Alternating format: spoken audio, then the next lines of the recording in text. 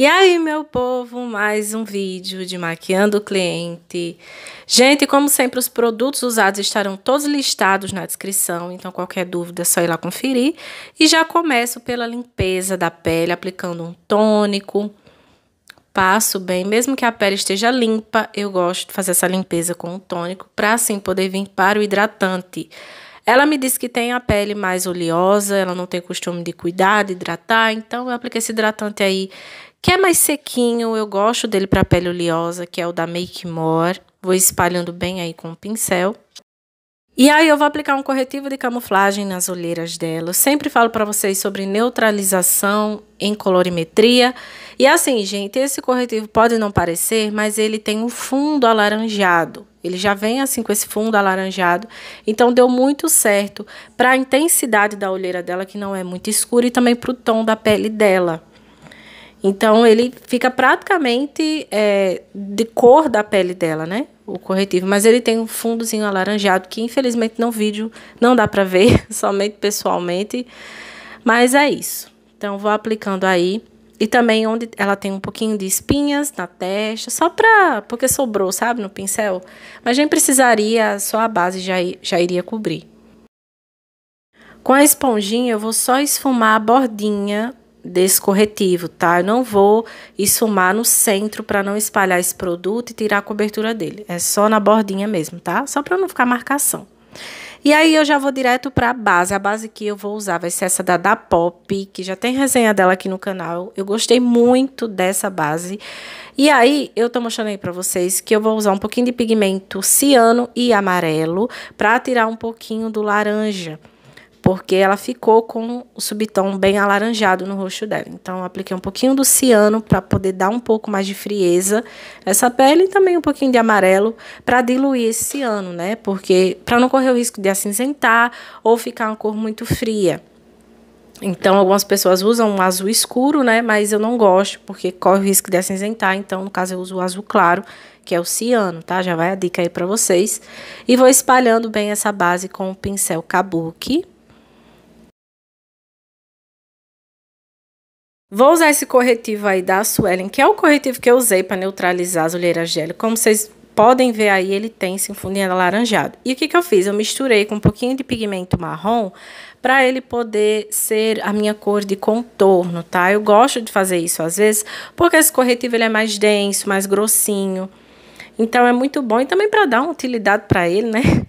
Para ele não ficar só para uma coisa só, aí eu quis dar essa opção também para quem não tem muitos tons de contorno, sei lá, essa dúvida. Enfim, então vou aplicando aí com calma, mão leve, eu não quero um contorno muito escuro não. Aplico também um pouquinho nas têmporas, tá? E também um pouquinho na testa dela. Vou fazer no narizinho também, com a mesma cor. Como vocês podem ver, não é aquele contorno muito quente. Eu quero fazer algo bem neutro mesmo, porque a cor do cabelo dela é vermelho, então já vai ter esse contraste de cor bem quente. Então eu quero usar tons assim que não dê muito contraste para não ficar tudo, porque tudo influencia, né, gente? Eu sempre falo para vocês que a cor sempre vai influenciar. Então já vai essa inspiração para vocês, né, que vai pegar uma cliente com cabelo colorido, Para iluminar, vou usar esse corretivo da Visela. Vou usar um corretivo líquido, porque como eu usei um de camuflagem, que são mais grossinhos, né?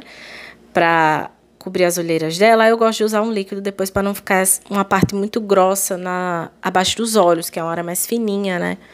Então, vou fazendo as marcações aí para iluminar, prestando atenção bem no formato do rosto dela para dar uma boa proporção.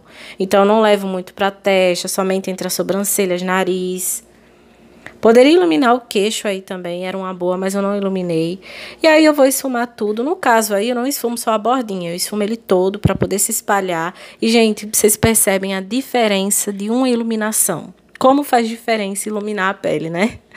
Vocês veem que só com a base e o contorno tava algo meio assim, sei lá, meio sem vida. E com a iluminação, como fica tudo harmônico. Olha que coisa linda, né?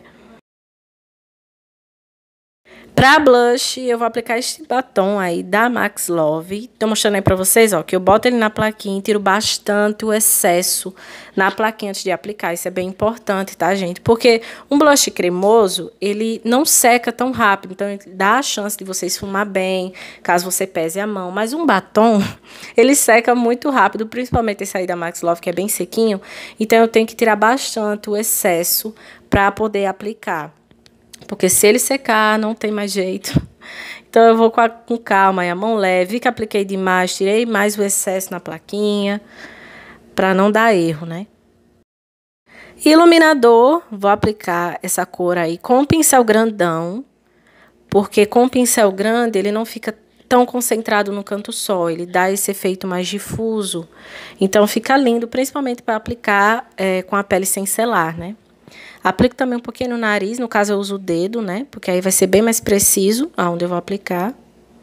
E bora pro pó. Eu vou aplicar o pó com o pincel, para não fazer uma camada muito grossa. E como vocês veem aí, eu vou dando essas batidinhas mesmo, que é pro pó entrar bem na pele e não ficar aquele excesso exagerado. Porque além de você desperdiçar pó, a pele vai ficar muito seca, porque a pele vai começar a absorver demais aquele pó, e aí fica uma pele muito seca, eu não gosto. Então eu vou com o pincel aí, dando batidinhas até essa pele absorver bem a quantidade de pó que ela precisa, tá? E é isso, bora para os olhos. Tô aplicando aí um corretivo para poder uniformizar essa pálpebra. Como vocês podem ver, ela tem os olhos com côncavo mais marcado, olhos mais fundos, e ela não tem muito espaço de pálpebra fixa, mas ela tem mais espaço de pálpebra móvel. Então tem que prestar bastante atenção aí nas proporções na hora de fazer o esfumado. Então eu começo primeiro iluminando com aquele mesmo iluminador, aplico no cantinho lacrimal, nesse cantinho interno aí, e também vou aplicar um pouquinho abaixo das sobrancelhas. Como eu disse, ela não tem muito espaço, né, de pálpebra fixa, então eu quero dar essa projeção aí onde ela não tem muito espaço. Começo com o meu marronzinho de sempre, que vocês já sabem, né? E aí eu vou aplicar aí é, no côncavo, porém, eu não vou aplicar muito, porque como vocês viram, o côncavo dela já é marcadinho, né? Já tem essa marcação.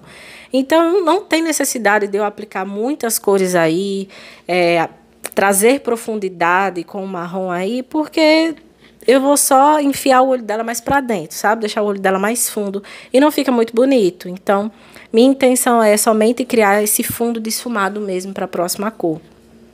Então, aplica um pouquinho no côncavo e um pouquinho também para fora, tá? No canto externo, alongando ele bem, tá? Por isso que eu tô usando uma cor assim mais neutra, que é para fazer o fundo do esfumado mesmo. Com um pouquinho de pó, eu vou meio que delimitar a minha sombra, ó. Vou fazendo tipo essa borrachinha, só para delimitar mesmo, porque como eu vou fazer um delineado depois, eu já quero deixar demarcado aonde vai ser o meu delineado. Então, tomar esse cuidado para não levar as sombras muito para fora ou muito para baixo, enfim. Vou aplicar agora o marrom mais escuro, tá? Tô mostrando aí. E vou aplicar ela somente no canto externo, sabe? Somente. Vai ser esfumado bem facinho hoje. Então, vou aplicando aí, esfumando para não ficar marcação, não vou subir demais. É somente aí, só e somente só.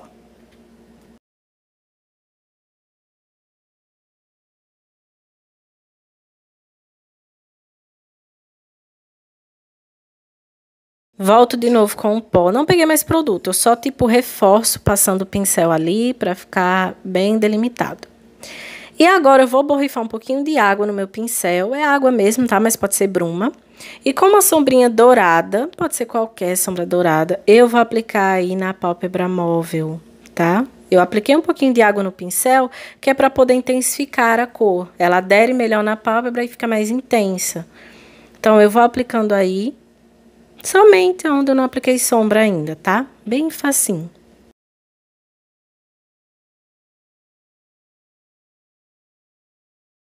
E agora, bora pro delineado. Gente, uma dica. Primeiro eu vou vir com uma sombra, uma sombra bem escurinha, e vou simular fazer tipo um esboço do meu delineado, tá? Por que, que eu vou fazer isso? Porque eu quero fazer um delineado bem fininho. Então, para garantir que vão ficar simétricos na mesma altura e que vai ficar fininho, eu quero fazer esse rascunho, sabe? Com a sombra mesmo. Então, vem com o pincel fininho, primeiro com a sombra. Então, já vai uma dica aí para vocês. Porque como eu quero fazer tudo bem sutil, aí o delineado também tem que ser sutil, né? Não posso fazer um delineado grossão, tampando metade da pálpebra, porque não vai ficar bonito. Agora sim, eu venho com o delinear, delineador, estou usando delineador em gel. E aí eu passo só por cima daquele rascunho que eu fiz com a sombra, tá? E eu vou aplicando só até uh, um terço da pálpebra, tá? Dá para fazer até o interno, até o canto interno, mas no canto interno eu vou usar outro produto. Então, com delineador em gel, eu vou mais me dedicando no traço do delineado gatinho, né? Fazer esse rabinho aí.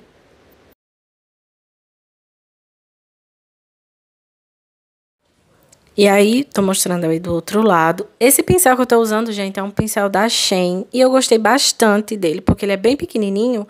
Então, para fazer o traço do delineado, ele ajuda muito. E como vocês podem ver, é um delineado bem fininho, né? Ele tem a pontinha grande, que é para conseguir ver com os olhos abertos, mas ele também é bem fininho, bem delicado. E aí, no restante, né, para fazer o resto do delineado, eu estou usando uma pomadinha de sobrancelha, pode ser um clau também. Só que ele é marrom, no caso. Por que, que eu vou fazer isso? Para ele não pesar muito, eu acho. Não sei se essa é a palavra certa. O contorno dos olhos, tá? Eu poderia fazer isso até com o mesmo delineador em gel preto, mas no caso eu vou fazer com marrom para tirar um pouco do peso. Ficar o olho contornado, é, mas de uma maneira mais leve. E aí, esfumado inferior, eu vou aplicar um lápis marrom, que vocês sempre me perguntam sobre esse lápis. É o da Suelen Makeup. Eu gosto bastante desse lápis, porque ele pigmenta bem, ele é bem molinho. E ele seca bem, então ele é a prova d'água.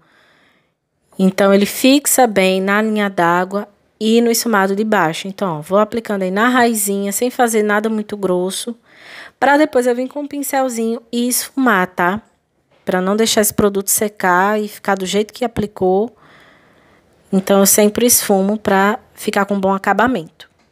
E aí com aquele mesmo marronzinho escuro, eu vou selar esse lápis, porque por mais que ele seja sequinho à prova d'água, é um produto cremoso, né? Então, para garantir, é, a gente sempre tem que selar com sombra, para poder ficar bonitinho no lugar, para não borrar. Então, vou aplicando aí com calma, para não ficar ensumado muito grosso. E agora, eu venho com a sombra preta. Vocês percebem a diferença que vai dar agora. Para fazer essa emenda aí, ó, entre o delineado e o esfumado de baixo. Gente, isso é bem importante, isso é acabamento. É nesses mínimos detalhes que fazem toda a diferença, principalmente numa maquiagem beauty. Então, ó, eu vou fazendo essa emenda aí, dando esse acabamento com a sombrinha preta. E vai ficando tudo bem harmônico, ó. Vocês percebem que fica tipo um chifrinho aí, né? Mas aí eu fazendo essa emenda já fica algo bem mais... Um acabamento mais bonito. Cílios postiços, tô usando esse modelo aí que é o E01. Muito lindo esses cílios. E eu presto sempre bem atenção na hora de cortar, tá, gente? Eu não vou... Eu não meço até o final dos cílios dela, porque senão pode acabar ficando com o olhar caído. Sobrancelha, gente, como vocês percebem, o cabelo dela tá vermelho, toda a maquiagem tá sutil, tá suave, então eu não posso estragar tudo na hora da sobrancelha. Então, eu quero fazer algo bem levinho, só mesmo preenchendo as falhinhas que ela tem, sem deixar muito escura.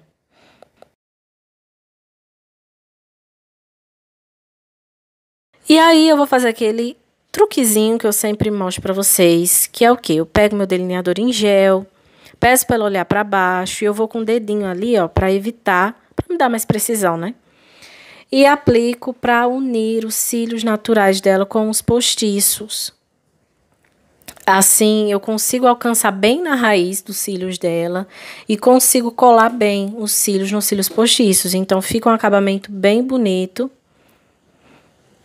E bora para os lábios. Vou aplicar um lápis, um lápis qualquer. No caso, eu estou aplicando esse bem rosinha, bem tom da boca dela mesmo, só para ficar um lábio bem mais contornado na hora de aplicar o gloss, né? Como eu não vou aplicar um batom.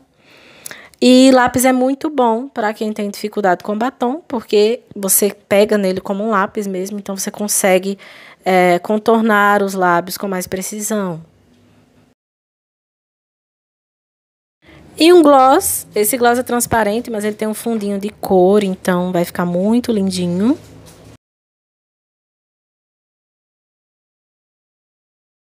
E é isso, minha gente. Tá aí o antes e depois para vocês verem e comentarem aqui embaixo o que é que vocês acharam da maquiagem de hoje. Se gostaram, não esqueçam de deixar o seu like, porque é bem importante o feedback de vocês para mim, tá certo? E se não se inscreveu ainda, se inscreva para não perder os próximos conteúdos. Vou até deixar dois vídeos aí como sugestão para quem quiser maratonar os vídeos do canal, tá certo? E é isso. Um beijo